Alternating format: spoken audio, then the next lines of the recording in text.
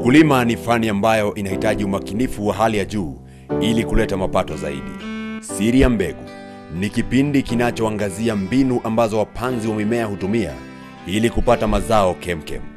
Hapa tunaangazia wale waliobobea katika fani hii huku wakifafanua mbinu maalum za mbegu wanazozipanda, iwe ni ukuzaji wa mboga, miti ya matunda, maua au miche yoyote ile. Karibu mtazamaji, mimi naitwa Njoroge Kibe na mimi ni mkulima wa strawberry na mimi napatikana hapa Udhiro Corporation. Nitakuonyesha vile kutunza matunda yako ya strawberry kwa njia ya kutumia organic. Hiyo kwa organic ni kumaanisha hautumii kemikali yoyote, na nitakuonyesha vile kufanya kupanda, kutengeneza matunda, kuhakikisha unatumia fertilizer ile mzuri na kutumia nini foliar feed ile ambayo nitakuonyesha vile utakuwa jitengenezea. Kwa sababu unafanya hivi ni kukuonyesha vile unaweza kuwa unafanya minimum input but you get maximum output from your shamba. Na kitu nyingine kipenda kuonyesha pia vile kufanya, hauhitaji kuwa na shamba kubwa kufanya eh, matunda ya strawberry. Hata ukiwa na kale ka portion of land ka eighth uko nayo hapo, fanya kazi nayo, kwa sababu hiyo kidogo nitakuonyesha vile kupatia matunda mengi. Karibu.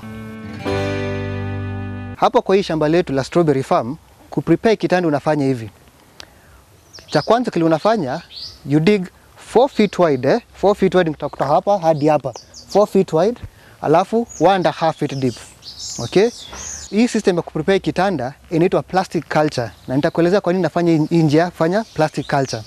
Now, ukishachimba 4 feet wide, 1 and a half feet deep, eh? length ya kitanda eh, inalingana na wewe na plus, plus inalingana na kitanda chako ama eh, shamba, aina yako ya shamba, kwa sababu the longer the bed uko nayo ile ambayo utakuwa na mbegu mingi. Ok- Okay? Sasa fanya hivi, ukisha, ukisha chimba 4 feet wide, 1 and a half feet deep, toa hiyo mchanga yako yote wekele kando. Ukishaekelea kando, utakuwa umebaki na shimo which is 4 feet wide, 1 and a half feet deep. The next thing unafanya unachukua mbolea ya ng'ombe, mbuzi, kondoo, okay? Unachukua una mix in a ratio of 1 is to 1.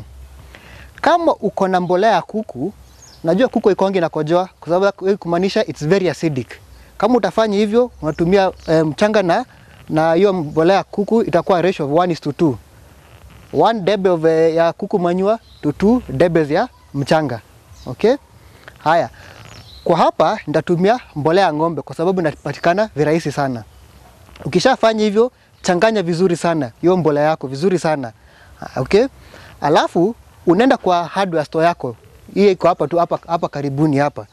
Unanunua hii karatasi ya black, preferably the heavy gauge. Inaitangwa gauge 1000. Okay?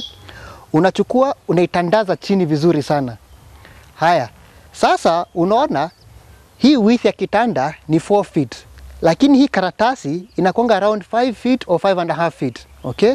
Haya, ukishatandaza karatasi chini, make sure umetandaza chini hadi inakaa kama bathtub ama ka fish pond, kwa sababu nataka karatasi ikuje imetokea hivi juu. Okay? Ukishafanya hivyo, hiyo karatasi ya chini haustahili kuunganisha karatasi ya chini. Okay? Na nitakueleza kwa nini usili kuunganisha karatasi. Ukishafanya hivyo, tandaza yote chini hivyo vizuri, alafu chukua ile mbolea uko nayo yako yote uwekelee juu. Na sasa hiyo mbolea na mchanga ushachanganya vizuri sana, utarudisha vizuri sana hadi urudi back to the level of the ground. Okay? Irudi back to the level of the ground. Sasa fanya hivi, utachukua maji uspray maji hapo hadi ikue e, inakaa matope, lakini sile ile matope ya kumwaga maji. Sasa vile unaweza fanya kama mkulima kutest water content ya hiyo kitanda, unafanya hivi, unachukua mchanga kwa hapa kwa ground yako, where your ground is, okay? Ukishachukua mchanga kwa mkono, kwa sababu hapa tuna test mambo ya water quantity kwa kitanda. Now what you do eh, ukiona mchanga yako ina form a very nice kabol hivi, inakaa kama hii, hii ball ya ugali, utajua maji yako iko mchanga wako iko na maji ya kutosha. Okay? Ukichukua mchanga yako tena, alafu unaona mchanga inaachana hivi eh? Unaona hiyo hiyo ni kumaanisha mchanga wako ina maji ya kutosha. Okay? Na ukichukua mchanga yako hii kaugali ball na ufinye hivi, alafu one maji yaanza kutoka hapa, unajua your soil is has excess water. So chenye ambayo unastahili kufanya ambayo mchanga wako iko na excess water, kabla ya kufunika na hii karatasi ya black juu, eh, wachilia maji evaporate preferably one day okay? Na ukiona mchanga wako ina inaachilia achilia hivi ongezea maji okay? Haya. Ukiona sasa uh, mchanga wako yakaa hivi kama ugali ball rudi kwa hardware store nunue karatasi ya black tena alafu uitandaze juu okay? Kwa hivyo chenye uko nayo sahii ni karatasi ya chini mchanga wako ambayo iko mzuri kama inakaa ugali ball na karatasi ingine juu. Sasa hii system nimekwambia inaitwa plastic culture. Kwa sababu hii system najua hata mkulima unafikiria sasa nahitaji kuwa na greenhouse. Hapana. Kwa sababu hii system inakupatia the same environment kama iliko ndani ya greenhouse. Kiaji? Unaona karatasi ya black wakati wa kiangazi inanyonya jua si ndio nakumbuka mchanga yako iko na maji. Kwa hivyo, mcha, kwa hivyo jua na maji ikipatikana what you form ni humidity. Na ndio maana ukiingia kwa greenhouse you find it very hard for you to breathe. Unasikia huwezi pumua. Yaani kwa sababu ya nini? Ya humidity. Okay? Sasa hii njia sasa tunasema nasema ati kama uko na greens huwezi fanya huwezi fanya strawberry. Hata kama hauna haimaanishi huwezi fanya strawberry. Okay?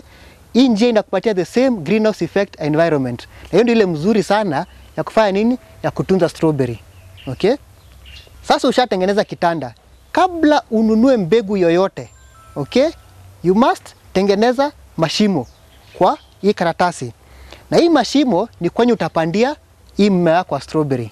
Haya iko hivi. The spacing the distance between one, one strawberry plant to another ni distance ya 30 centimeters ama rula moja ile ya hako rula eh, hiyo mnaijua vizuri sana. Sasa distance kumaanisha ni kutoka hapa hadi hapa kutoka hapa hadi hapa au kutoka hapa hadi hapa it's a perfect square. Okay? Perfect square ya 30 centimeters. Kwa hiyo ukishafanya hivyo vizuri sana ndio unahesabu unaona kama kitanda kama hichi inafanya 1 2 3 4 1 2 3 4 5 6 7 8 9 10 11 12 4 times 12 ni 48 kumaanisha hii kitanda hapa inaweza chukua ngapi? 48 seedlings okay? Na hiyo hivyo ndio kwa hii inakuonyesha kwamba hauhitaji kuwa na kununua mbegu mingi excess ambao unamwaga pesa bure okay?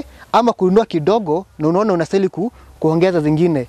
Hii njia ya kufanya hivi ndio ambayo sisi tunafunzanga watu ndio inakupatia the exact number ya kupanda. Unasema unajua ile hii kitanda yako itachukua mbegu x amount. Unaona hivyo sasa inakuanga nini? Preparation of the bed. Kitu very simple na uhitaji hela mingi. Kwa sababu tufanye hesabu. Kitanda kama hiki kutengeneza peke yake probably ni gharama kama shilingi ngapi? Mia tano peke yake. Okay?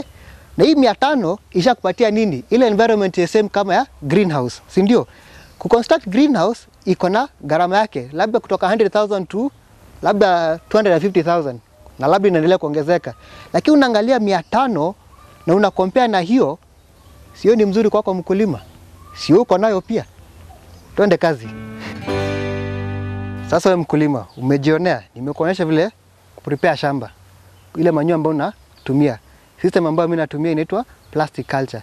Kwa hivyo sasa ukitaka mbegu ama training piga hii namba iko hapa. Okay? Kumaanisha sasa hakuna excuse yoyote ambayo uko nayo. Siri ya hii mbegu ya strawberry prepare shamba vizuri. Kwa sababu ukifanya wrong preparation utapata very poor produce. Okay? Na hiyo kwako wewe mkulima you will never go wrong. Okay? Hiyo ndio siri ya hii mbegu ya strawberry. Kwa hivyo tufanye nini? Wewe kuja nikufunze hii nunua mbegu tuchape kazi. What more do you want? Siri ya mbegu, tunaleta ufunuo kwa mkulima ili kujua ukweli halisi kuhusu mbegu mbalimbali mbali, ili kujistawisha. Siri ya mbegu, tambua siri, unawiri.